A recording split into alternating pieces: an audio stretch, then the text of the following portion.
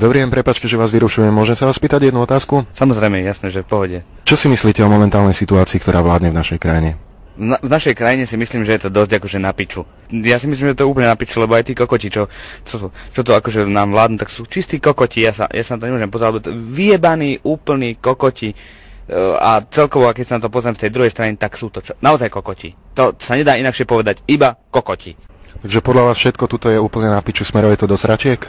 Smeruje to podľa mňa do riadnej piči, ale zase z druhej strany, keď sa na to pozriem, tak kokoti sú na celom svete, rozumiete ma? Pojebané je to tu na, na kokot, nechcem tu žiť ani, ani, ani, za- ani za tú piču. A vidíte nejaké skurvené riešenie? Odjebať sa stade to. Úplne odtiaľ to, strašne rýchlo sa odjebať. Dobre, ja vám ďakujem za rozhovor. Chod do piči.